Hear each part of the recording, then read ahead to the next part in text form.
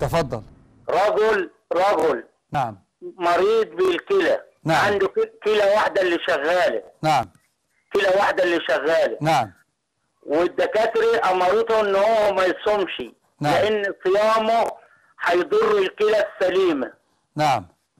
والرجل هذا فقير لأبعد الحدود. ولا ما يقدرش يعني إن هو يطعم عن أو يصوم الأيام اللي هو اللي بيفطرها دي نعم نعم فقير يعني هو من قرية اسمها بالقاس وعشان يجي المنصورة للمستشفى يستلف أجرة الطريق علشان يجي يعني نعم. ما عندوش النفقة اللي يقدر إيه يدفعها اللي هو ال- يطعم مكان اليوم اللي هو. نعم نعم نعم أفهمك ده حكم الراجل ده إيه لأنه قاعد دلوقتي يستمع لمعاليك وعايز يفهم السؤال. هو الآن هو- الآن طيب أنا سأجيبك الآن مش هأخرك هأجيبك وأنت معايا كده. الآن في أمور ثلاثة الأمر الأول يجب عليه الفطر. تمام. يجب لأن الم- المفتي الأصيل له هنا هو الطبيب. فاهم أيوة، حضرتك؟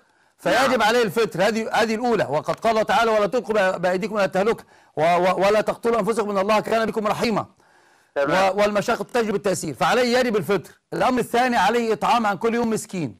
إذا كان فقيرا وهو من المسكنة بمكان وما عنده اختلف العلماء هنا تسقط عنه أم لا تسقط عنه؟ حقيقة الأمر هي في ذمته.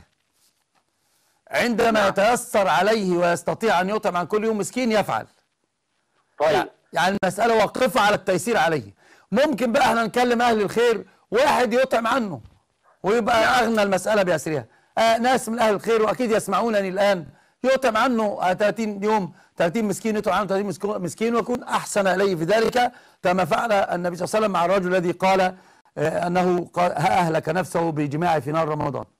الله يبارك لك. هو ده السؤال اللي كنت عايز أقول لفضيلتك عليه. وأنا أجبتك الآن خادمك بين يديك